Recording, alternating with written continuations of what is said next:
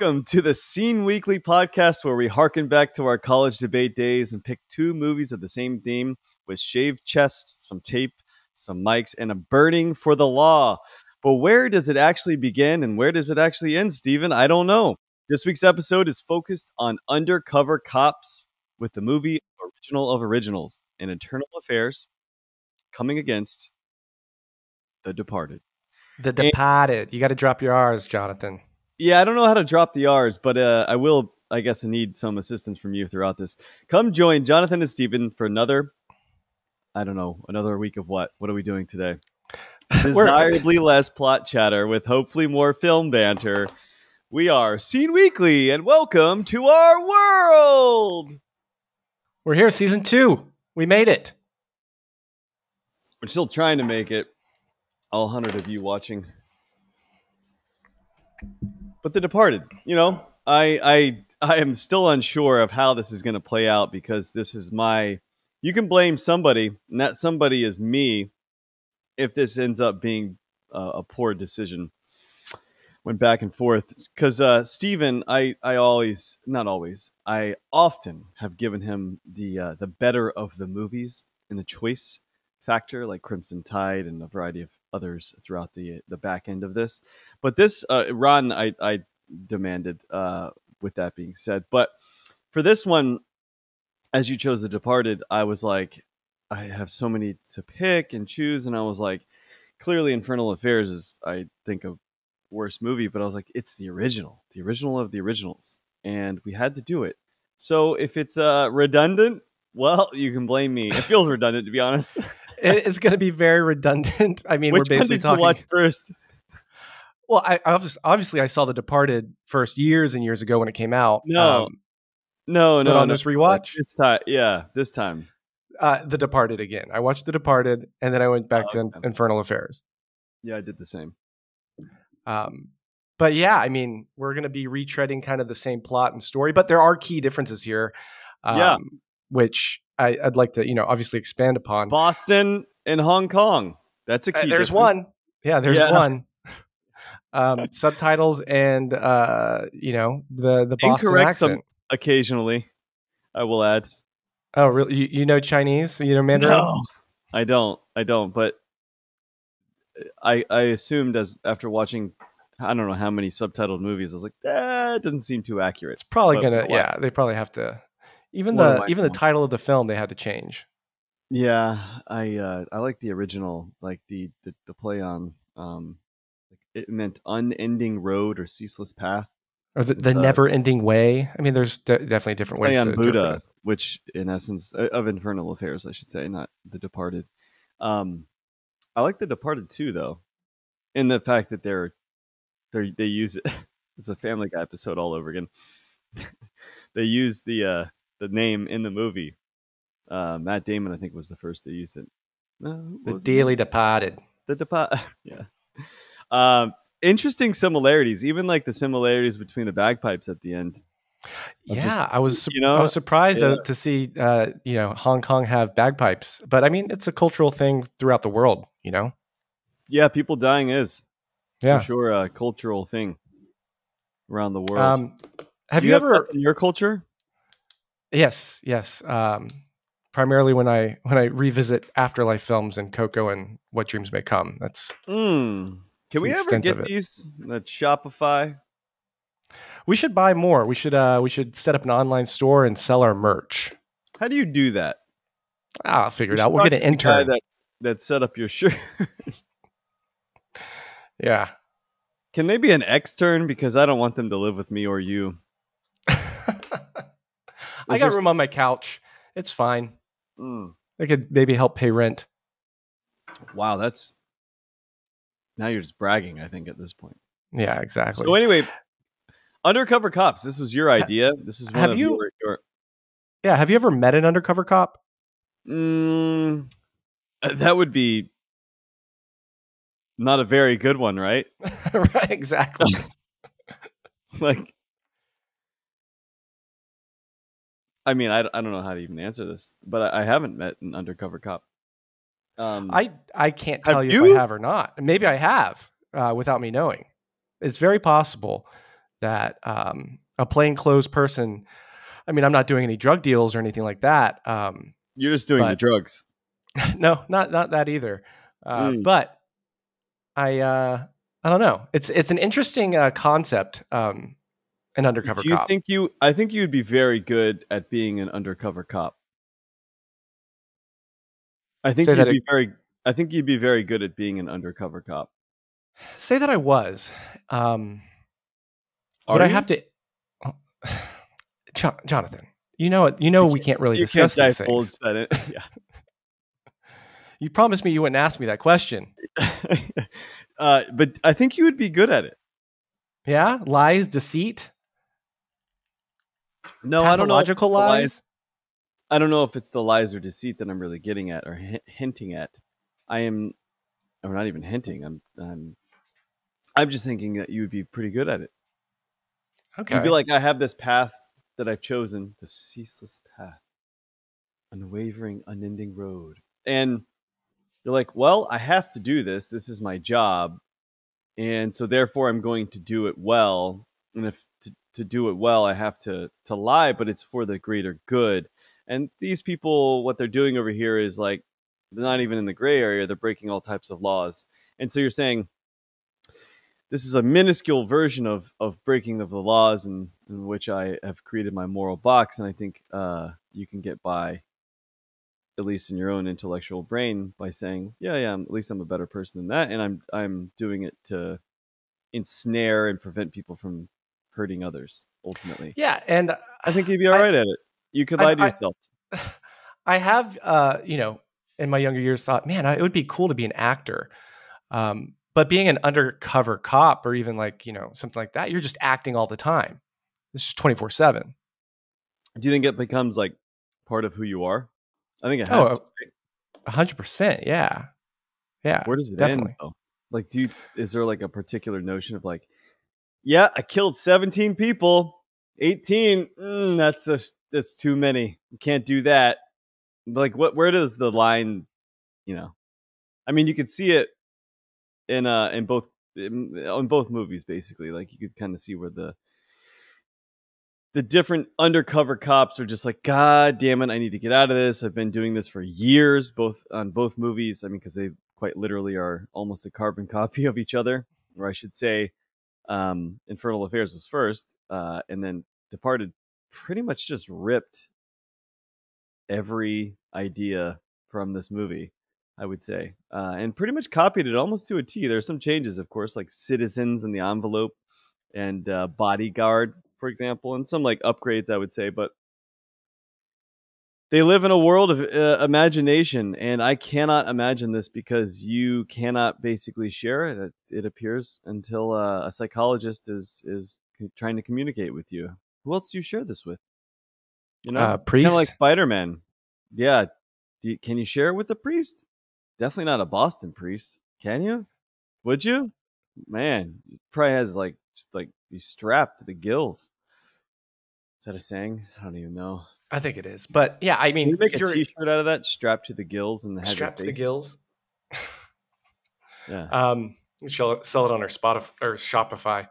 Uh, yeah, it would be it would be tough living a a life where you're basically lying to yourself the entire time. Yeah, where, where does it stop? Where does it end? Does it end? Um, It doesn't know. end.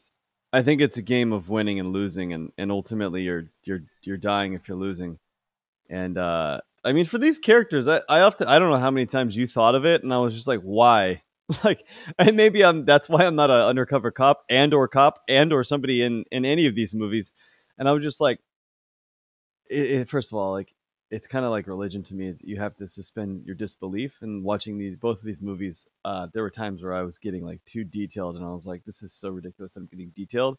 Just have fun. Like you don't have to make sense of everything.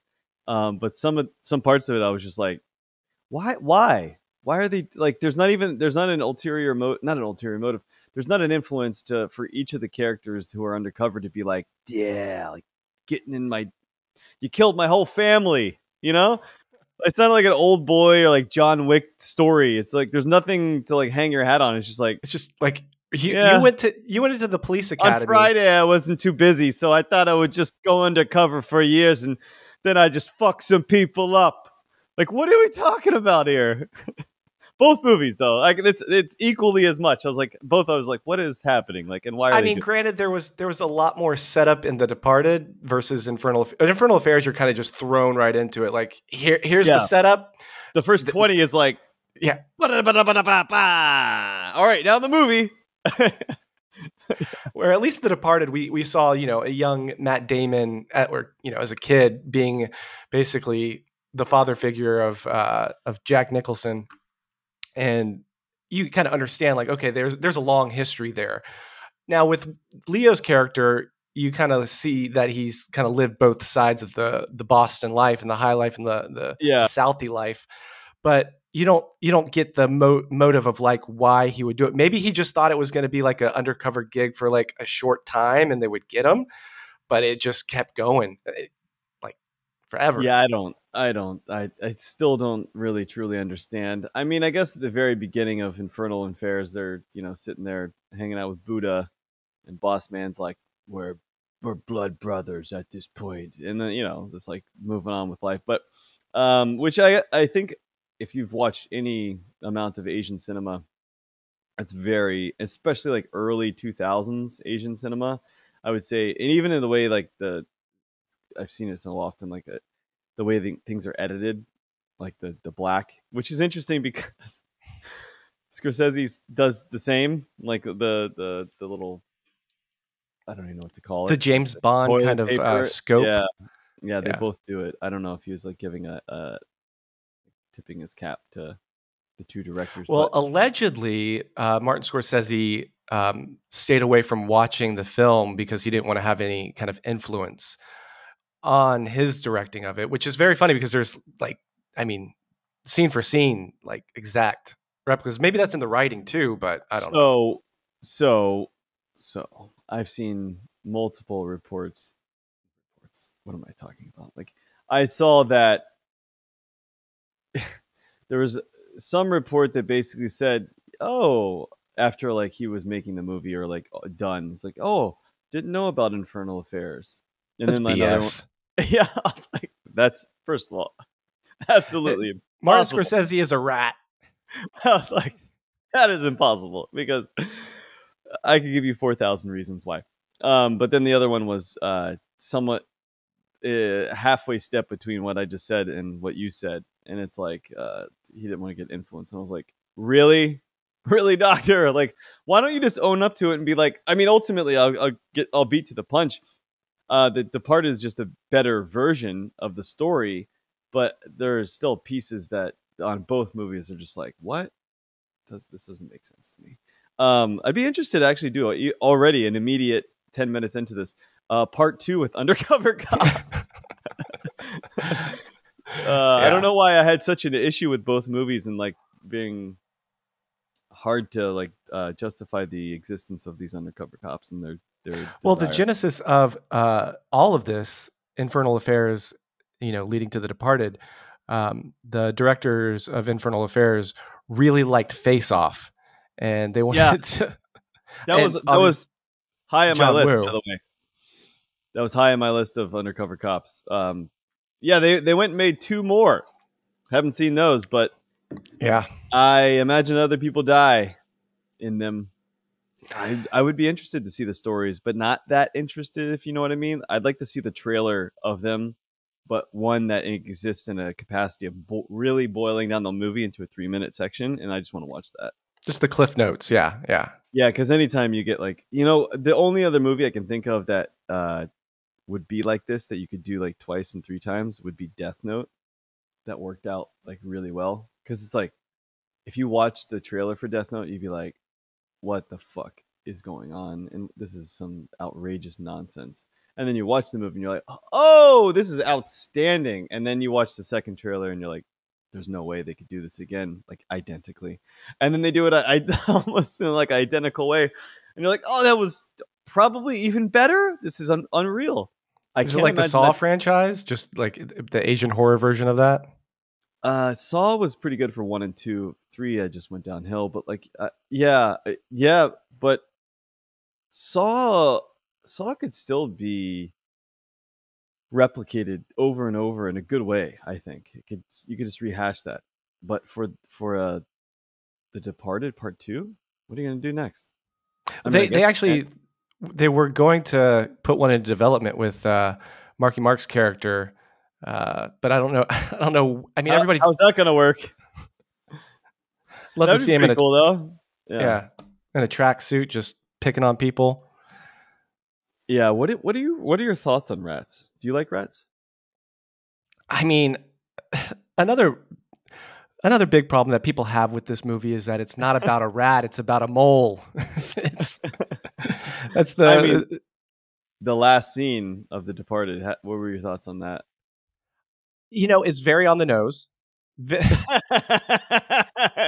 oh, really, Doctor? and a lot of people have problems with this. And Me I, too. I, I, did. I, I understand. It's it's like Martin Scorsese, just like, all right, now I'm going to put a nice, pretty bow on this picture. Yeah, and, yeah. and people people sometimes don't want pretty bows on their, their their gritty crime movies. You know what I mean?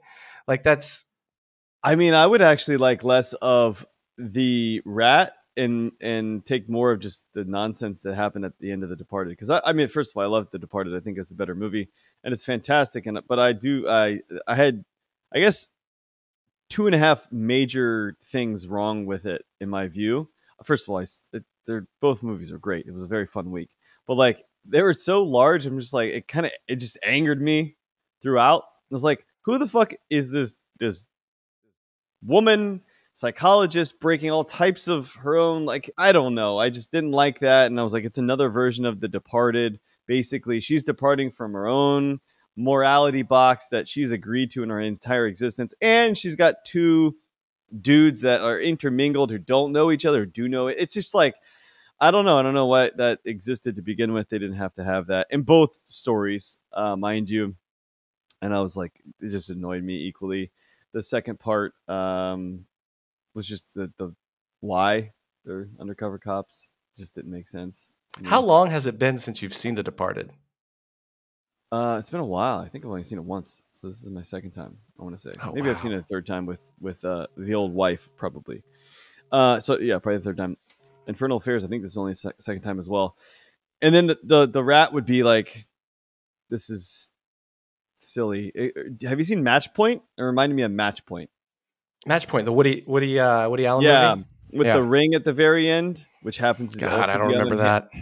Which also tends to be uh, uh, that moment where people I would imagine get very angry. Orange juice again. Here we go.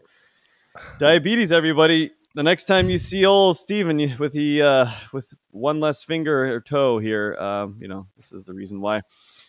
But the the ring that was bouncing at the very end of the movie. Ding, ding, ding, ah, yes. That that I didn't like either, but there was significance behind that. But the rat. Anyway, I'm gonna just this is gonna be a diatribe of anger and and ultimately remorse tomorrow when I think about what we're trying to say here. But anyway, undercover cops. You were very excited about this. I don't even know. We've already started 20 minutes in on mixing and mashing. I kind of I like mixing and mashing more, to be honest with you. This is an episode that, if any any episode, we need to mix and match because yeah. we're t- basically talking about the same movie um, yeah. set in two different worlds. Why don't we go into the synopsis, the backgrounds, and then we'll just mix and mash and see how this works out and compare the two. I think that'd be best. Okay, uh, let's it'll start with The Departed. Okay, it'll probably be a, a, shorter version, but I, I like the mixing and mashing. Um, it's a lot more fun. So Departed came out in 2006. Uh, it won Best I like Picture. How you're like, we're doing The Departed. this isn't doing it. There's no discussion here. Um, Infernal Affairs came out first. Come on. Yeah, I know, but it, we're we're kind of backtracking here, so this is going to hmm. be better. Go on. Uh, it won Best Picture and Best Director at the Oscars. It was Martin Scorsese's first and only uh, Best Director win. When he made this film, he wasn't even thinking about the awards. He was thinking that this is going to be too gritty and just too, you know, it's not for the Academy, basically. But he won. Um, 151 minute runtime. Uh, we don't get the opening title card until 18 minutes in.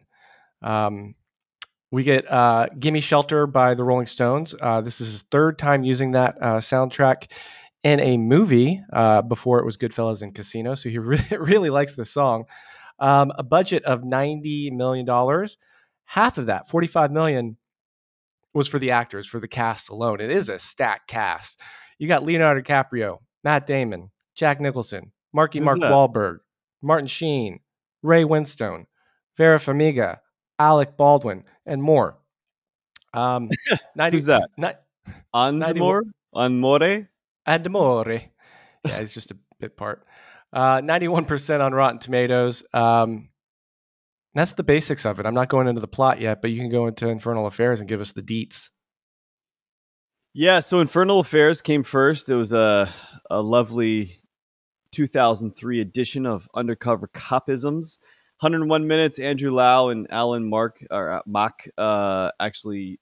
I don't know if they wrote this. Did, did I didn't actually look that up, but they directed co-directors. Always interesting on co-directing because oftentimes you actually see kind of like talking about Shakespeare, and you're like, oh, this doesn't sound like his voice. Be like, oh, this, I bet that was a different person who's directing this section. Uh, but anyway, I, I thought that throughout. 2003 R crime thriller, thriller, 94%, six and a half basically on budget and 55 in the box office, which is uh, extremely good for a Hong Kong or Chinese. It was a hit. It was big. Yeah, it's a big hit. It was a big hit. I think the only Spider-Man and like Harry Potter, I think were the only two movies at this time that actually like ousted ousted its uh kingdom. But yeah, I mean, they're um I mean, do do you want to go into the Departed? I mean, it's basically the plot is identical. If if if there is a plot, um, there's no difference between the two. We just change some names, Boston, Hong Kong, and then uh, you're pretty much the same there. Irish Mafia triads. yep. Uh, you got. You What got would you rather be in, by the way? A tri? Would you go in the triads or would you be in the Irish Mafia? What do you think would be best for you?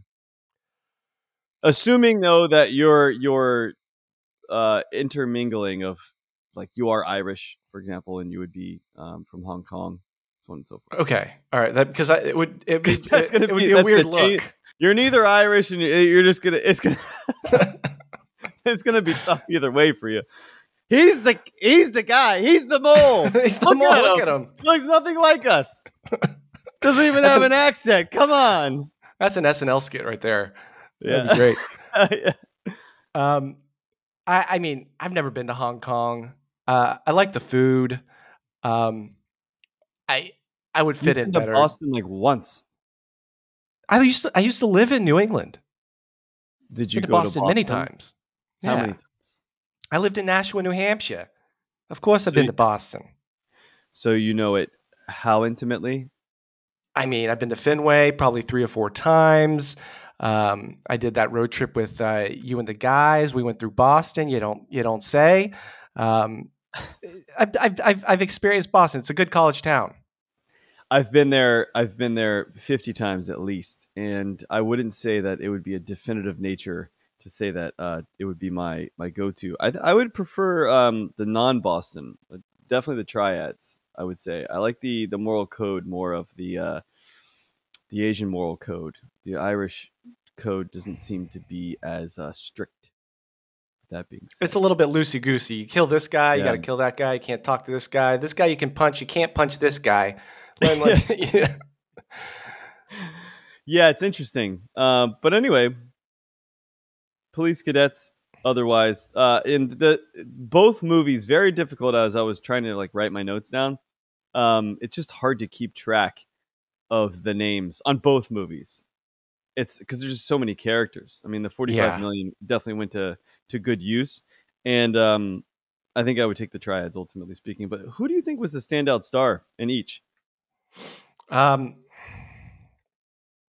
I love Leo's performance. I think this was like his his big breakout like acting performance. Like he was in The Aviator previous to this. That was good. Yeah. Um, Gangs in New York it was a little sh- little shoddy. He was overshadowed by Daniel Day Lewis.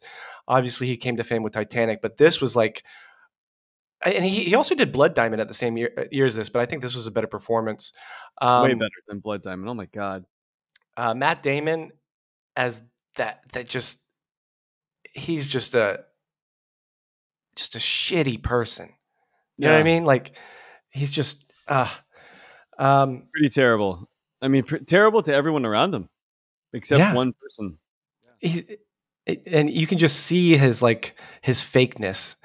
Uh, He, he plays a, he plays a great kind of character like that. Um, Jack is back in the the the the, the gritty kind of roles. Um, he hadn't played a gritty role since like A Few Good Men. Uh, he was doing like you know the romantic comedies and things like that. So this gave him a chance. Um, he was a little over the top. So was Marky Mark Wahlberg. Who's your But I'm- favorite? I'm I'm going over it. Okay, the the one that I, I I think just killed it for me is Leo. I think Leo he he described his performance as like being on a 24 hour anxiety attack, and you felt that in his character. I think he did Yeah. a great job. I think he did a great job. I like Jack the most, though. For sure. Jack, huh? Yeah, because he he had he had I like moments where and Leo had it too actually, but he was his moments were speaking with Jack. Um and that that I really truly noticed it. Um to be serious like to be to give it its due there wasn't anyone really that stood out in um, Infernal Affairs. I think just the acting was completely overshadowed uh, by the Departed and the actors of of the Departed. But it's got to be Jack. I liked there was the instance with Leo Billy character of him saying, giving him, providing him information to see if it was going to come to bite him in the ass to see if he was a mole. You know, smoking him out as as uh, you know, we're undercover cops at this point. We can start using the lingo and the jargon, right? Yeah, of course. So he, I mean, you're talking in an Irish accent. You're already in the mafia, I think. Get him, not me. My mom's from Brockton, Massachusetts, born and raised, but he's anyway. So I liked Leo, and I liked pretty much everyone. There were times where old Mark was annoying me. I was like, okay, dude, just we got the character that you're, you know, it, he like almost came out of himself. You know, it was just it was so much. Uh, but I did appreciate it, and you especially appreciate it as, at the end, and also after you realize like he's not a bad guy. Or in the- Spoilers. and but Jack in the moment where he himself is trying to figure out the mole, trying to smoke out who he thinks Leo is, or potentially, and uh, dropping his gun and playing with the gun, that moment of like Jack kind of his character, I should say, uh, Costello, like not knowing, being a little insecure, and just dropping the veil of like being tough and dropping the gun was like so metaphorical and so perfect i thought. And also leo's reaction to being like what's about to go down? But you Yeah. can see it like painted in that anxious face of his like what the fuck is going on? Like what and you could that pure anxiety. That scene that quick scene maybe two minutes maybe my favorite were and then you know costello leaves and costello's coming back because he forgot his cigarettes. And uh just the whole chatter of those two minutes is probably my favorite part of the whole film. Just the awkwardness between and just the fleshing out of like what's actually happening and both characters are like who are you? Who are you? Who am i? I don't know. And it's like this weird play on what's actually existing uh, and it's fun to, to be the viewer watching it all happen and unfold but my favorite part but jack was my favorite Yeah, I mean every his scene. death uh, his death was like interesting to say the least Yeah, but every scene that yeah that Jack was in, that Frank Costello, I mean they they had to flesh out the part um, more in the script because uh, they they cast Jack Nicholson, um, and originally Martin Scorsese wanted Al Pacino. That was his first choice. Uh, I like because he had never worked with him. Yeah, I like Jack too. Although Jack Jack wouldn't uh, he wouldn't wear a Red Sox hat. He refused to wear a Red Sox hat uh, because he's a Yankees fan. this is why i like jack so much because he just doesn't give he has a- principles. he he does actually have principles. Again, I, I go back to the story with Hunter S. Thompson. Uh, just lovely guy. Um, but fantastic actor. I wish I I wish Jack has done more stuff. I wish he did more things that were that stretched his ability because I think he is one of the greatest actors of all time. Oh, I'd like to see him 100%. in- I'd like to, like as good as it gets. I'd like to see him in something that um like another I don't know anything else. Be interesting to see him as as Batman instead of the Joker. He's curious. I mean, but not not now. Um, but No, let's do it now. you want to put, but okay, that'd be an interesting one. Old man. What Batman. are your thoughts on on removing floors? Because I believe I'll have to check The Departed again because both have elevator scenes, multiple elevator scenes for that matter. And in America, we skip the 13th floor. I mean, it's unlucky. And and most of Asia, especially Chinese, in Chinese, if you were to say uh, death, it sounds like four.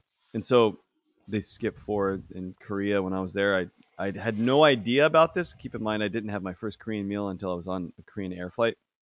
I had kimchi and bibimbap, and then uh, I just just the first day I was like, why four? And I was, of course, you know, I'm not like challenged or that challenged, I should say, mentally. And so I was like, well, why are they skipping four? And why is four skipped? Oh, it must be like an unlucky number. And um, here, and then I realized, you know, somebody told me it was because of death. What are your thoughts on that? Because like the people on like the the people on five are on four. It's just the number in the elevator that's off. Everything's the same, right? So like the people on five have got to be like, mm, but the elevator told me I was on five. It's a psychological just, mind game. It's I just mean, a poor you... translator. I'm okay, right? I'm good, thanks. Like what? Maybe there's maybe there's a small little floor for rats that can just like you know that's just right there. That's the fourth floor, and the thirteenth. Okay. Thanks. I like uh, I like the floor that the half floors like being John Malkovich. Those are my favorite. yeah. Far. But what about what about the fourth and thirteen? Like, what are your thoughts on that? Like, how silly uh, how silly twats we are as human beings, being like the floor still exists in everyone's mind and world, but the elevator says it doesn't, so it doesn't exist. Yeah, it's kind of ridiculous. I mean, we're but we're we're creatures of uh of luck and fortune and rituals, and I mean that's uh, what we tell ourselves is true. We're dumb. Right? A hundred percent. We that's why we don't even have negative numbers. We like basement one, basement two, basement three. You can't go negative one, negative two, negative three. That's Let's that's just that. that's that's too that's too negative. You've got to be positive here. but okay, that makes sense. I mean, seventy percent of our thoughts, I think, are negative. So, but anyway, yours, I, I, not mine. Yeah, well, I think it's uh, science, um, but nonetheless. But it, it was interesting watching The Departed first, in that going from The Departed, watching the editing that actually like made this movie, Scorsese, like it was just pretty tangibly different after watching the the two of them, and the production was extremely different. Um, but I really uh, I had a variety of scenes that I'm glad weren't copied. Like for example, in Infernal Affairs, the speakers that uh-huh. I really, really, truly appreciated in the music. Uh, pretty much throughout Infernal Affairs, I actually liked probably more. I understand Boston. You know, they he's he's dialing into the Boston scene, but I have never. Anyway, I'm not going to speak poorly, but like, you don't like Dropkick Murphys?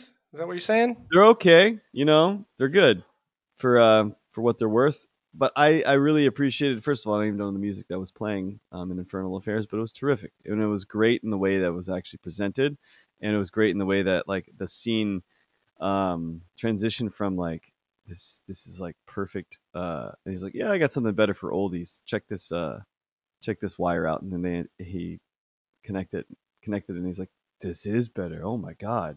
But I, I like that scene, and then I like the replication when um um the wife finds out. But I like the Departed where the the psychologist was pulling the plug while she's listening, and then Matt Damon's character. Yeah, it was a small kind of like reflection of of Infernal Affairs, which was cool.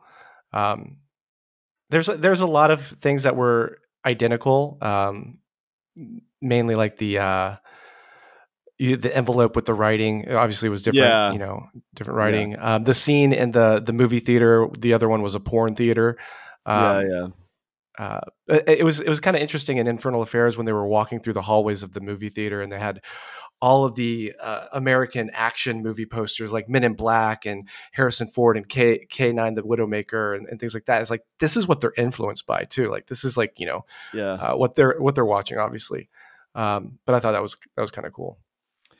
And you know, notwithstanding the the motives of the, the characters of these movies, but would you let's say you're making I mean cops on Long Island make tons of money. Let's not let's use like let's just use a random number. Let's say you're making thirty thousand dollars, you're having a tough time, you know, saving money. Let's say you're a cop always wanted to do what's best uh, present uh, prison uh, a person presents an opportunity for you to to make let's call it triple what you're making now. Would you become a criminal if you if that opportunity was knock knock knocking at your door? Like a dirty cop? Like not not straight and narrow, well, but let's like not go taking a bribe? Steven. Let's let's you know let's not call it a bribe per se just yet. Let's just say that you know let's frame this. Let's say that you may have had to move one thing from here from A to B, or you may have had to do some different types of paperwork to have a relationship with somebody. Who who knows how you're going to frame it? I'm just saying you're going to get paid. Maybe it's in cash, maybe it's not. Maybe your parents are taken care of. But could you deal with yourself? Could you live with yourself? Could you could you do something like that? Uh, depends on uh, what's what's the damage. Who gets hurt in this? Well, let's say it's just all you. Let's say it's not your family. How about that? Let's start there first. No, I wouldn't do it. Mm, that's it. I, for me, for me, I, Let's say have there's a ninety percent chance you get away with it, but a ten percent chance you do not. And do not is I have- you're you're hung by your your the rafters and and just strung out, blood bleeding to death. no, I have a I have a guilt complex. Like if I do if I do something and I know it's it's wrong or bad, uh, it, I it's like you know you, the, the saying like how do you go to sleep at night? Like I I will toss and turn. I just can't do it. It's not. Do you? It's not. Yeah, yeah. Do you I I do. That, do you? Do you think that other people have like a different guilt complex though for you and have different ideas, and your ideas are just adequate for yourself, and you've convinced them? No, I think I think what you're saying your is you can you can rationalize in your mind and jump through hoops and say, okay, I'm doing this because I need the extra sixty grand to pay for my daughter's chemotherapy. And Yeah. that's for the greater good. So that's why I'm going to do it. But I don't have a daughter who has chemotherapy, Jonathan. Yeah, I'm just I'm But- I'm buying Vaporflys and bicycles. Like I I don't I don't need another sixty grand. that sounds not you now, but I'm saying in a situation where you're making only thirty thousand dollars a year, you haven't been able to save anything until you're 40 years old. You've got nothing to your name, and you, you know, ultimately, let's say you do have somebody to take care of, but it's yourself. No, There's uh there's gray areas in everything, right? I'm, be- I'm, I'm becoming a criminal. Sure. yeah. Like I don't understand if I if I am the one that's going to be harmed and there's nobody else involved. Fuck yeah, bring it on. Like wh- what are we talking about here? We we haven't even defined the terms yet. We haven't even gotten to the the the, the discussion of like what needs to happen. Like who's who's going to get off. I'm not even talking about that. I'm talking about just you know some paperwork here and there. That's all. Yeah, I'll do some paperwork. Sure. Is a white collar crime then is what you're saying. I haven't even defined it. I mean, maybe it's just you know some some beige collar co- crime. my Who my knee jerk reaction is you're setting me up for something. I think I bought you four felonies a day. Did you read that? No, you didn't buy that for me. You uh you said you bought me how to how not to die alone or something like that. Yeah, that sounds like you should read that one first. But um, have you read that by the way? Not yet. No, I'm reading. So- uh, So up to this point, you're you are gonna die alone. I um, you're still reading Breathe. My God, you read so slowly. Anyway, um, I think I'd become a criminal depending on the, if if you give me the facts and, and circumstance or the the pattern, the fact pattern here. Strong likelihood um, in both of these situations. Now, if if I have got a daughter who's got needs chemotherapy, I, this isn't even a question. The answer is yes. What do I have to? How many people do I have to kill? Seven thousand. Give me a bazooka and a lot of right. ammo. So I, I, I that would be I, I'm shocked by this, but I guess let's let's take a step back. You're not a criminal, clearly, uh, although you do commit four or more felonies a day. And uh, have you ever followed somebody or like just tried to just to see what would happen as like a gag? No, that's that's never never once crossed my mind to be like that. Even after watching Christopher Nolan's The Following, Yeah, yeah. um, that's never crossed my mind to actually do that because uh, I wouldn't know what to say if I got caught. that would be very, be very weird. I've never followed somebody, but I've always thought like in these following scenes, which are in undercover cop movies, there's like always a following scene, and pretty much all and like, mouse game. Yeah. superhero movies, there's always somebody being followed. And I'm like, I I wonder how many times we have been followed, if ever. You and I, like in real life. Do you think anyone's like actually followed us? I actually I know I have been followed. I don't want to go into the details of this, but Now, what about just like in a room you follow somebody with your eyes? There- are you are you talking about physically walking into different different areas, down alleyways and, and things like that? Like what are we talking about here? I'm talking about alleyways, like following somebody in that capacity. Yeah. Okay, yeah, I've never done that. No, I haven't either. Um, but it it would be interesting because like it's a talent that I have I have not refined.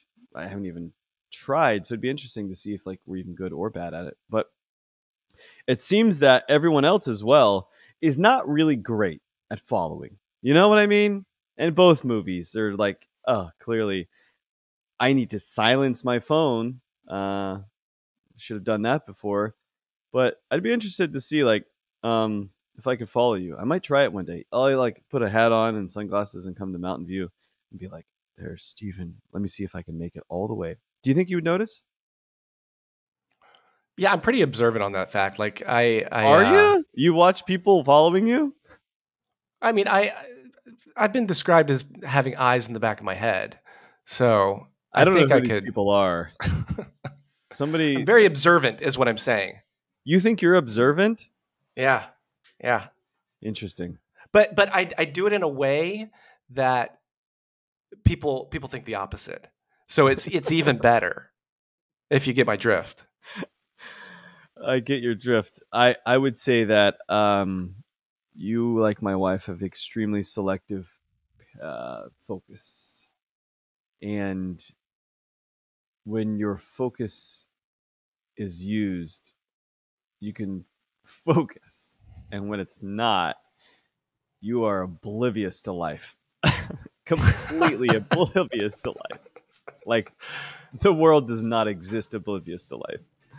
And I know that because I see it in your face. It's painted. The both of your faces. You're very similar. And I, I know that look. It's a look of like plugging back into the matrix. What And about I- you? I- do you? Do- Do you think I could follow you and you wouldn't notice, or you would notice? What do you think? It depends uh, where it would be. If are you driving? Let's say you're walking through uh, a store. Let's say like a Duane Reade, and then you're going into another. You know, you're just in New York City, basically walking Yeah. the streets, going in stores and stuff like that. Yeah, I would notice for sure. I think you could easily drive. Uh, you could follow me in a car. Even if I was wearing like a big wig, sunglasses, tie dye shirt. I I uh I'm pretty anxious and obsessive of like I'm the I'm always like I'm the the crazy person who walks into the movie theater and where's the exit like planning things if things go awry airports I pay attention to a lot of people so uh in big crowded areas I get I tend to afterwards get pretty exhausted uh like Disney World I'm paying attention to like So much going in my on. head automatic yeah Are you the type to uh, like go into a hotel room, like first go in and like kind of check everything out, open the shower curtain, like look around? Yeah. Yeah. Okay. including uh we had a house upstate for a while. I used to do that in my house upstate. You never Is know that, who's there. is that crazy? No, it's not crazy. It's it's. I think it's a normal normal uh normal thing. You know, trust know but verify kind of thing. Yeah, I mean that's my job. And I have I have an interesting question because it seems like gangsters really really truly enjoy scotch. And I it just seems like a very prevalent thing and, and I wanted to know what is your favorite scotch? My favorite Scotch is Balvenie 12 year Caribbean cask. That's a good That's- one. I've had a lot mine. of that. I haven't had a lot of that in a very, very long amount of time. The Macallan 21 is terrific, which I bought for my father in law. Is that a sherry cask? I don't know what cask it is, Okay. but last year we went to uh, Huntington Prime, very good restaurant, very nice seafood and steak, and terrific place. Uh, I don't know if it's up to your standards. Um, actually, it's it's probably nicer than your restaurant. But with that being said, um, I got a double, which I didn't know the price of the double. I didn't know the price of the single, and he was just like two fingers. Like, yeah, sure, why not? And uh, well, that was like $120. And that came out. And within about two minutes, that was spilled about 80% of it. And I was like, that was instantaneously very bad. But I think uh, the Balvenie, Balvenie, anything I would take all day, every day. That's my favorite scotch as well. But any of the single malts, like the Macallans as well, 21, 18, 15, 12, all good. Terrific. The Caribbean cask is is delicious though. But Why do you I- think uh, Scotch is a as a gang, choice of the gangster lifestyle? Like, what's the what, is it? Just a is a, a very, very- machismo? You drink it Yeah. straight, neat, a couple ice cubes, you're good. Yeah. that, that proves that you're you're tough. any alcohol isn't it interesting because like vodka neat is just like pure alcoholism but like scotch Or you're Russian. you're okay yeah yeah that's true but like that's not like a, a i mean i guess it's a russian gangster thing to do but otherwise like to me if you're a true gangster like you should be just drinking straight vodka i mean it's there's like nothing to it you know I would I'd try to order something with an umbrella in it. we're talking about uh lock stock and two smoking barrels now Yeah, exactly. a little mai tai. But I anyway the uh to get into the the details of the editing the editing was the the most distinct difference between the two movies not to go through the similarities because it's too easy there. But um scorsese like in multiple occasions i thought chose excellent ways in which the camera either the lens or itself or the actual editing made it feel very very different than the original in that i remember one scene of when you're realizing the character of matt damon um, the psychologist is like unwrapping everything she's listening to the tape of her speaking or him speaking with uh costello. And the her face you know oh my god this this can't be really truly happening. And the shower shot that happened because it's like It's a it's an it was an homage on on Psycho. The exact same you're like not breathing, waiting, and then and it's like, oh wait, I'm I you know they it shocks you back to life. Um, he did that uh, in a a few occasions throughout that I really appreciated. Um, it was really really uh, fun though to watch the the- Yeah, I um I agree with you on the the edit. The editing was well. First, we got to give props to his longtime editor, uh, Thelma Thelma Schumer. Sch- old Schumer? Thelma. Old Thelma. He's been working with her uh, since the seventies. Um, they are a gr- one of the great film pairings of all time because they just they've made so many great movies together. But this. I, I believe this editing won also the Oscar for best editing. But anyways, I Yeah, digress the way i mean there's a big difference in that um that scene at the end in both movies where they're in the elevator and something happens uh, you know spoiler alert if you haven't seen this movie. I saw this movie in theaters and i was it was one of the most shocking things i've ever seen. When this guy who you think has has it wrapped up he's he's gonna get his life back. He's got the the rat and the police officer and, and Matt Damon begging for his life now, just saying, please fucking shoot me, kill me. Like you're like, "O- okay, this is it. And that door opens and just Yeah, yeah. boom. Shocked. Wild. Yeah, for both both movies, um, with the elevator door opening, it was it was shocking, and uh, less shocking, of course, because I watched Infernal Affairs later. But it's interesting. I I don't like nice bows being wrapped up, but on that, it was just like everyone's just just capped, like everyone's just getting getting it, uh, which makes sense. And then like the whole Mark Wahlberg thing is like, oh, it, then it's just a whole everyone's like That was more, I think, like a bad, feel- basically. It's the feel good kind of ending. Like, okay, Yeah. he got his due. Uh, he, but I, I, Was I- it though? Maybe he was bad. Mark Mark Wahlberg? Yeah. There's a there's a um, a fan theory, and you can read into it that Mark was also a, a rat in the police force and working for the FBI through uh, Costello. I don't know. It, there's a lot to read so into that. Yeah, he talks Huh? so heavily that he he talks so much that it seemed like he had to be. He had some of the best lines in the movie, though. I gotta say.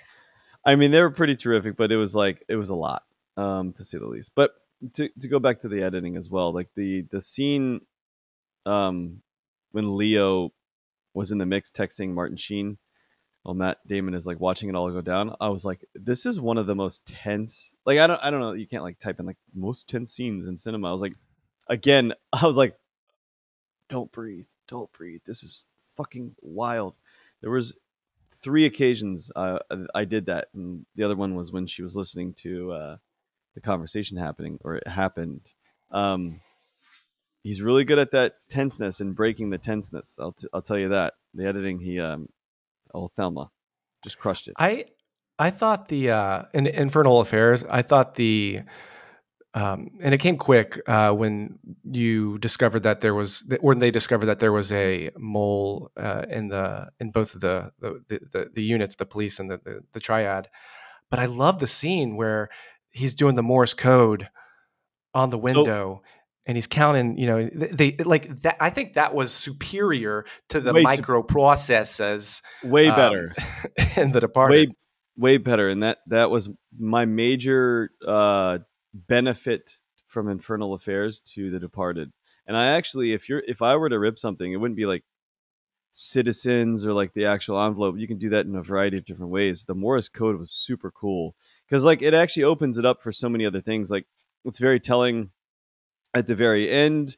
Um it's not really like like spoken about but how does he know morse code? Like you know that i would i like the oh wow he knows morse code. Maybe he was on to me the entire time. Oh if he was on to me the entire time it's like it leads to so many other things besides just having bodyguard on the piece of paper. And then it it opens it up more but also closes it down whereas like seeing the envelope is very it's clear. Okay he clearly knows. Um but i love the morse code and the morse code throughout. It was that's pretty cool Yeah. And I thought, eh, you know, when they uh, were searching him, he has the cast on. I thought, you know, there was going to be something in there. You know, we saw Yeah. the little. It was actually kind of a big clip, but like the fact that you know they taped it to the the window and everything like that. It just it, it the payoff on that was so so good, so good.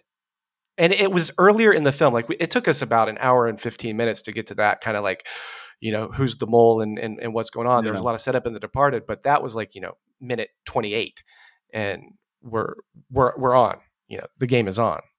What do you think makes a good undercover cop movie? I was like thinking about this because like it's all the same. You have an undercover cop that's good, that's bad, but is The Departed your favorite undercover cop movie? I watched Donnie Brasco uh, for the first time like last year.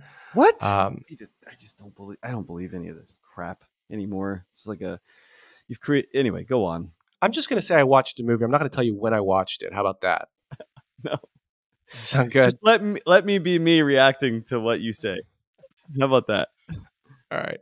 Um, I like that movie a lot. That's one of the ones that I I, I thought of first. Um, uh, but I don't know. I mean, I think The Departed, just on a rewatchable level, is my favorite. Yeah, I think so.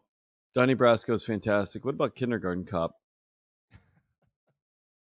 It's pretty good. It's, I was Pretty thinking good. also like th- I was kind of like seeing if I could uh, blur the lines here, but I was thinking of Blue Streak. I don't know if you've ever seen that movie with Martin, Martin Lawrence. Yeah, He's he's a criminal that becomes like he's gets mistaken for a cop. That's kind of a mistaken identity movie or whatever. But yeah. I is that Tim um Robbins? Who's who, Tim who's Robbins the, from The Shawshank Redemption. who's the second part to Blue Streak? I Who's don't remember. I haven't saw I that movie in high school. It's him and uh, Tim, and I think I've only seen that once, and I can't imagine that to be like holding well. But maybe it will.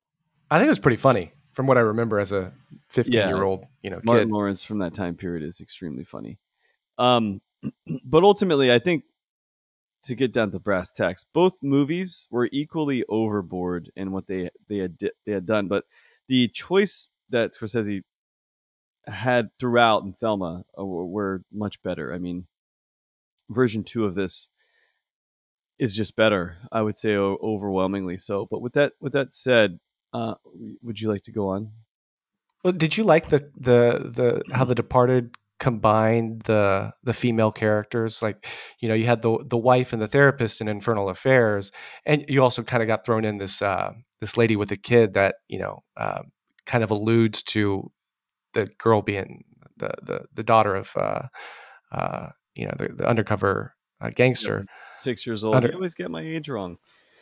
I I didn't I didn't like it actually. I didn't like either stories though with the the lady. I just don't. I didn't think she played like an important part of of either. And and if she were to be removed, I think it's pretty telling. If you were to remove a character, you could be like, that's probably better, or like I don't care. Like th- either of those answers are probably not great. But who knows? I, I don't even know what that movie would look like um, because I think the tension that exists in the moments of being able to say like, oh yeah, this is like unfolding or unraveling. Um, you'd have to play that out in a different way, considering the fact that the woman was there to unravel that. So it, you know that that change, and then you wouldn't get that shower scene, for example. So yeah, maybe it changes it drastically, but both sides I didn't like. I will say this for The Departed. Again, I'm not. I'm being very nitpicky, but this is why we're we have a, a cinema movie podcast here. So I don't know why I disliked it so heavily that, and I thought it, I, I was like laughing, was like how bad it was. The shot selection and just production value of like the, the shootout scene at the very end with on The Departed or for The Departed, and I was just like, you know, the shipyards, and I, I just thought it was so poorly executed It felt rushed. Yeah not only rushed physically like in the movie but it rushed in the sense of like i just i just wasn't that enthralled i guess. I wasn't interested. The shot selection thought was poor. And then it was just like here's all your warning signs and and billy's you, you sure you want to do this frank? Like I don't know. Like we were just tailed. Are we being tailed? Like you know basically saying here's your out. And then um the cops are just there coming in a slow swarm turning on their lights and maybe that happens in real life but i was just like this is unraveling so strangely but like so meticulously and i i, I don't know i just thought it was kind of cheese at the, the very end Yeah, I, I kind of feel the same way. Like the, they were trying to rush to the plot point that Frank dies, and Yeah. he's he's basically doing a job that he doesn't need to do. He has he said in the film that he doesn't. Need, he's like, I haven't needed money since I stole Billy whatever's lunch money in the third grade. oh a Like- pussy Yeah, he's he's doing it because that's his life. That's what that's what he is driven to do, and he doesn't He's know anything else. through and through Yeah. some people are So- called steven but I, I just didn't like that the you know choice i think it could have been better and i think a lot of the choices that scorsese made were unbelievably fantastic i would have ripped though the uh, the morse code one 100% Do you want to hear some taglines? I would love a tagline. I got a quote for you too. Um, but Okay. taglines. Do you have taglines for both or just one? I imagine just The Departed. I, I studied a lot of Mandarin uh, and to to come. No, I don't have anything for Infernal Affairs. Um, Hmm. Uh, the the original title, though, I will say this is true, is Mogondu. Mogondu. No, I don't even. I see. I don't even know how to say that. Uh, but we kind of talked about it earlier. The never ending way. I do like the pun of Infernal Affairs for the Americanized version of the title, though. Um, great. Yeah, But taglines for, pretty good. for The Departed. First one lies, betrayal, sacrifice. How far will you take it? The next three are just, these are three different taglines, and it's just one word undercover. That's it. Underhanded. That's it. Unrestrained. That's it. That's all you got. I smell a rat. Cops or criminals, when you're facing a loaded gun, what's the difference? I feel like the taglines here are just uh, hashtags that you would put in a social media post. It doesn't really tell you anything. This is 2006. is that it was what it's before for? that. I know, but is that, that. what? But is that like the eh, you know is that what they're trying to do? That's the energy that they're they're giving. Yeah. yeah. Like here's a hashtag, and here's another one, and here's another one. What? it's like it's like people who are not very good at writing, but are good at like boiling down the essence of like a few things, but can't explain it too That's why we need to make a tagline company and just market our services to that. We're not very good at writing, but we can boil it down. I mean, it is true because the taglines they are pretty poor. I mean, they're really like somebody's going to take our idea and be like, "Ah, "I saw this on Mise- uh, Scene Weekly podcast," and boy, just give us a shout if you rip the idea. That's okay. I'm okay with Yeah. you ripping it because we're not going to do this. Uh, I don't Clearly. have time to create taglines for things, especially that many movies. AI could probably do this in like a day's time. Anyway, shot selection to to counter on um some uh, to counter what I just said. The scene with Jack, where he's at a play. I don't know what the play he's at, but the red in opera. background. He's in always an in opera. and he, it was terrific. It was absolutely terrific. It reminded me of like Al Pacino in uh, what's the devil movie that he was in? Was it was it a red light that was just like on his face? Fantastic though. I don't know. Yeah, yeah, yeah, yeah. Fantastic. And and Martin Scorsese was Devil. playing with these colors. Blue was obviously cops. You see a lot of blue in the police station. Yeah, yeah. Very cold, you know, with Venetian blinds. And then all of Ja- Jack's world, all of Frank Costello's world, a lot of red. He's the devil. He's the Yeah. devil. I like uh, I like the devilish shots. Um, I had a quote. There was a quote that was, "How's your mother? She's on her way out. We all are. Act accordingly." I was like, "That's so good." Only and the way he says it, the way he delivers Yeah, it. yeah. I mean, yeah, not like me, but um, yeah. I don't know why I have this. Uh, the, but the cell phone scene in the alley of like the chase, the following was super tense. Again, another like top three, very tense. And uh, I was eating at the moment. I was I was mixing a lot of onions. I was eating onions and, and drinking a seltzer. Have you ever mixed like a large dose of garlic, onions, and seltzer at the same time? I did it at this exact same scene. And so I had to, I actually had to stop. So I don't know if it was the tension of like what was on camera and what I was. Sounds like a seventh grade science project with a volcano. but I had to stop, and I was like, "Is this really?" Because I, first of all, I love garlic and onions so thoroughly, and seltzer, but it was very powerful. So I don't know, like, because you know, actually, as you'll soon realize, in How to Not Die Alone, that basically people get into bad relationships because they tend to sometimes get anxious and they think that your heart fluttering from anxiety, which is a bad thing, is something that is attracting you to like a new person, which is and you like marry that, you know, literally, but you marry that feeling and you're like, oh, this must be good. I'm excited. Which in this instance, I had to stop and I'm like, am I liking this scene? Is it really that tense or is my mouth on fire? Um, but I thought I was going to throw up. And then I, I had to pause again. And then I rewound the whole thing and it was still tense. And I was like, this is a good scene. It's very good. okay. I'm not going to try that experiment, by the way. Uh, you should try it otherwise. I love, uh, God, I love garlic and onions so thoroughly and deeply to my, my soul, my soul, soul that I've, I've, this is like 10 years ago. I have a video of me. Why do I like garlic and onions so much? I have yet to find the answer. We'll be here all week, Scene Weekly. Such is life. Um, anything else on either of these two movies that you want to talk about? Yeah, Pink Floyd. Do you like Pink Floyd? Pink Floyd was used in The Departed on a variety of occasions, but I, I'm curious to what your your thoughts are. I've never been like a hey, let's put on Pink Floyd, or I'm at a bar and there's a jukebox. I want to uh, scroll to the Pink Floyd album, Dark Side of the Moon. Like that's not my that's not my go to. Um, so I'm not gonna I'm not gonna like pretend to be cool and say hey I like Pink Floyd. You know, blah blah blah blah blah. It's just it's not it's not my my jam. I don't I don't get it. Yeah, I'm I'm glad you're like not hanging out on the fence. It's more of an opinion. I, I I just I never have gotten it.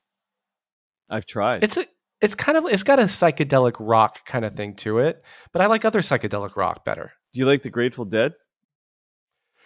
Grateful Dead is a little too. I mean, some of it, but it's a little too jam bandy for me. Do you you know, like Phish? I'm not.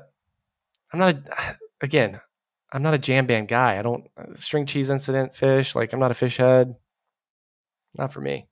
all three i would say I, pink floyd is the best of the three but all three i'm just like eh eh It- uh, here's a hot take uh, i also don't like the beatles like i do i shouldn't say that generally. I would say um, they're probably the most overrated band of all time and i'm not saying that as a hot take. I genuinely think uh, I, I i truly don't understand penny lane.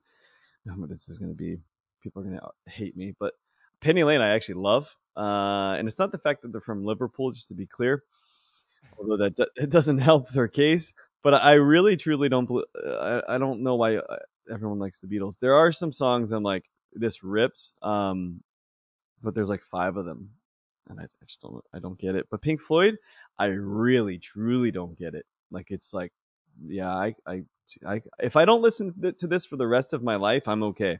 And nor i've never thought i'm going to put on some pink floyd in my whole life.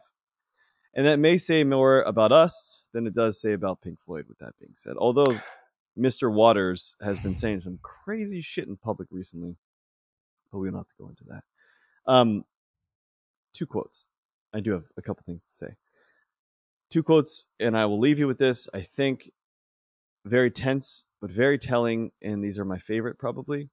Um, you know what i like about restaurants? You learn a lot about watching things eat and i really like that because if you think about it just with animals and you think about it with squirrels every go go on the spectrum of your imagination taking yourself through a ride of watching creatures eat and it's a very fascinating endeavor to, to think about. For example like wolves can you know eat x number of pounds and tigers and lions um, in a sitting and then us you know naturally just eating as well. It's fascinating to think about and i think there's so much to unpack. There'd be an entire podcast on that one single quote and i love that. My favorite line of the whole movie but fucking rat prick is also uh, on the other end of the spectrum of one of my favorite lines but it, I don't think you're gonna have a whole podcast episode on the second one, but it came out like like It was guttural. It was it was guttural, but it was hilarious because he also is a rat, and I was like, I'm laughing out loud right now. Yeah. yeah, it's funny. Um, I mean, I I got to go with uh, one of my favorite quotes again is Mark Wahlberg. Um, I'm the one doing my job. You must be the other guy. yeah, yeah. have you seen the other guys, for example? Yes, I have. I have. Okay, yeah. because that, I mean, th- this is like he's made for this this role. He's made for like this this cop guy who has these sayings. I mean, it's just outstanding. Um, fucking rat prick though. So anyway, yeah, I think that's that's it for me. If uh, have you ever punched a door in anger? No, I haven't. I have never had to release myself that way. How do you release yourself? um, not not punching doors because then I would have to probably buy another door or go to see a doctor and get casted up. And I think about the consequences of things before I do them. Um, so yeah, It's pretty arrogant to think that you'd break the door well, or I took hand. Okinawa Te American Root Karate when I was in, in fifth grade. Napoleon Dynamite over here. Better watch out, walls. You better watch out, doors. You got it coming to ya. Um, lastly, but not least, uh, the moment where Leo, Billy's getting into the elevator, get and he's got Matt Damon wrapped, and he's like, "You know who I am," but he repeats it like a few times, like, "You know who I am." Like we went to academy together. You know who I am. Yeah. And then five seconds later, he gets shot. Not by him, but I was like, this is so tense. And, and it, pop, done. Like, I remember the first time I watched it, I was like, what? I thought, no. I thought this was going to work itself out, but it didn't. It was very sinking. I also loved very sinking feeling. I loved Matt Damon's um, just the way that he greeted uh, Billy Costigan when he was, you know, saying like they were sitting in the office together. He's like, yeah, they were just meeting, and he puts on this like farce, and you could tell he's like, "Hey, trooper, yeah. good to see you, buddy."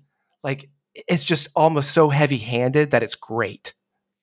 It is heavy handed, especially in the password shot. Because that that if like you, you didn't know what was actually happening, for example, if you didn't know somebody was following you, if you didn't know somebody was like in on something, you'd be like, something is there. I think human nature is like something's there, like password, and he's saying it as if like a flippant thing, like like he knew he wanted to get in that badly, and you could feel it. He uh, and then once he realized, he's like, "Oh, he, I'm going to the other computer now." This one's getting all bluey on me. Yeah, like, huh?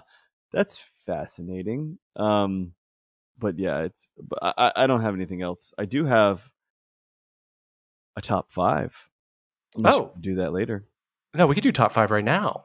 Let's do top, top five. five. Top five. Okay. Um, what did you come up with this top five uh, about an hour ago? So first of all, I I thought for whatever reason, I just thought these undercover cops were bullies, and after watching this movie, I I thought top five bullies and uh, bullies in, in movies. movies. Yeah, yeah, in, movies specifically. Yeah, that's why I clarified. Do I want to pick yeah. my top five bullies from fifth grade? I don't know. Yeah. so I, I, I, thought maybe you were gonna, you know, twist a, and shout here. But by the way, my daughter is learning about clouds today. Everybody. Talk oh, you should show her a video. she's seen it. Uh, literally, it's the only video she's seen. More than my wife, but nonetheless, top five bullies, and at number five, who do you got? Barely, barely was able to fit this on here am I able to tell my story like in a, I guess, a quick manner? I always am. Dudley Dursley, and he's on my top five, and and there are other bullies. Um, but he, I hate. Could you expand Harry upon what Harry Potter? Okay, Dudley, got it. Dudley. He is. He just for years has ridiculed and hated on his cousin, and I despise old Dudley. If I saw him in person, I think I'd even be truly affected. I hate this motherfucker. Like truly, actually, legitimately. And I think every one of these characters, that's what I was going for. Like I, I, I saw them on screen or I, I Googled him again. I was like, yeah, I, ooh, I really hate you still. I was like, that's, that to me is the good bully. So Dudley, fuck you. Dudley. Yeah, um, my my number five, my segue into uh, from Okinawa Te American Karate. I'm going Karate Kid, Johnny Lawrence. It's a fucking bully, man.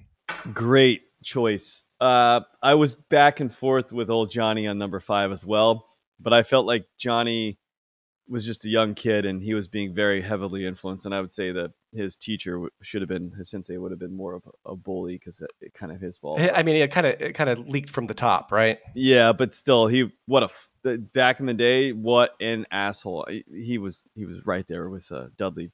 I just really like Harry Potter. But number four. What? What's that? Oh, I was going to go number, four. four. this time. We kind of do it, to it. My number four uh, is Draco. Draco Malfoy. Um, I think you know who that is uh, yeah, by your love for Harry Potter. Uh, but yeah. just yeah, what a what a what a just throughout the whole series. What an bully. See, the only reason I put Draco as uh, he's off my list entirely.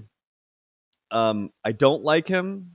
I wouldn't say it's even his father. I mean, it is clearly his father. I mean, if you've read the books and seen the movies, it's clearly an influence not just from his father but from everyone else. Um, and he actually is a fairly good human being, I think. But I just couldn't put him because like it wasn't that daily occurrence of being bullied. You know where where Dudley was. Uh, I guess technically speaking, you, you have a good point. May, I actually may have changed my number five to, to Draco because he is he's being made. He is actually being made fun of at school, which is probably way worse. It is way worse. But I can't change it. Uh, number four is Biff Tannen from Back to the Future. Ooh. Yeah, Fuck Biff. Biff. That's a good Tannen. one. I hate Biff Tannen. Like every single time I actually watch any of the Back to the Futures, I'm like, this this sucks. And then his son later in Back to the Future 2, I'm like, fuck that kid too. I, I don't know. I don't, I don't like the bullies. I don't like bullies. Even old old Biff Tannen is just fucking awful. Yeah. They're all bad. Don't like them. Uh, my number three, um, we're going the the female bully route. We're going Regina George. Number three, we share Regina George. What a bitch! Like seriously, like can we honestly, say that? What yeah. what a bitch! Yes, you can. Of course, you can. Everyone. what a bitch. I mean, seriously. Like, if there's like a, a feeling inside of me about bullies, like I really hate bullies. Um, but she actually is a, a terrible human being. And you know what? Character. She's pick, she's picking on the new girl, and I've been the new guy Yeah. at school, and th- it's Uh, like really hits home. it was it's low hanging fruit. Come on, man! Like Fair. I don't know anybody. Yeah. You're picking on me. Yeah, Whatever. that sucks. You're gonna have to go talk to the guidance counselor about it.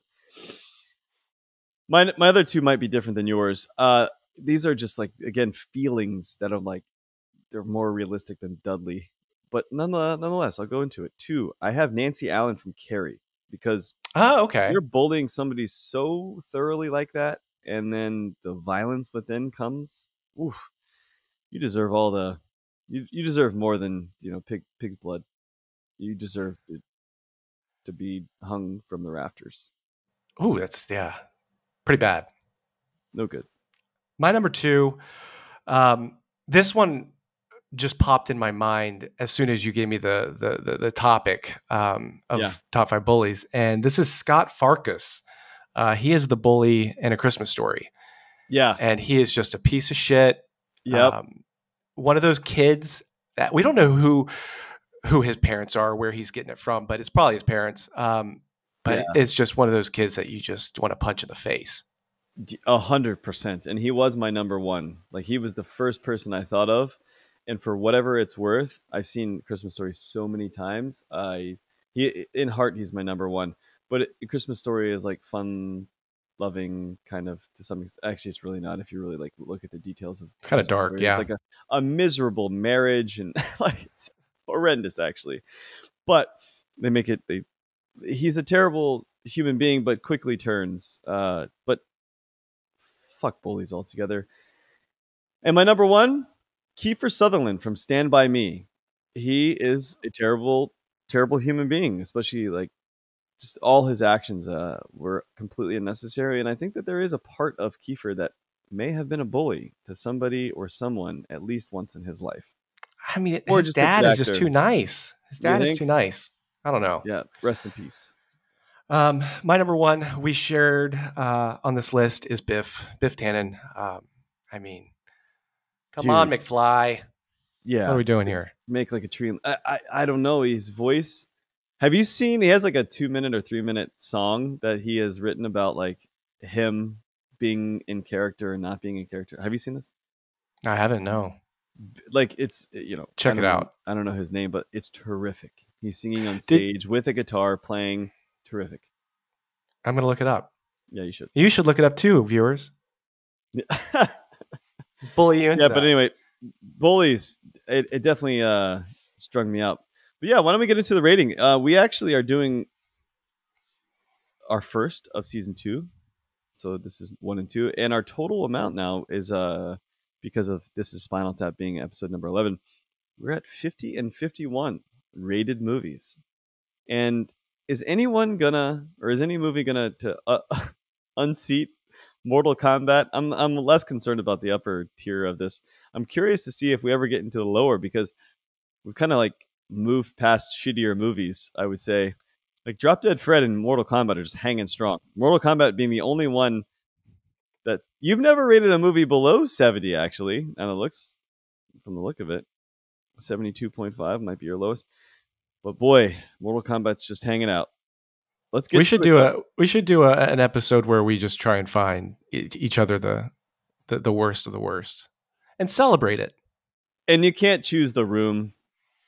No, You know, it's just you know some because I I even think the room now would be like the problem with finding the worst movie. It actually legitimately has to be like not like a cult classic. I think. Do you know what I mean? yeah. You can't do Plan Nine from outer space. Like yeah no. yeah you can't you can't do something that is so bad it's good you have to find something truly truly truly bad um, but nonetheless let's do it i'll i'll go first since you and well actually you did departed so why don't you go first Uh, Departed, um, I gave an overall score of 89.6.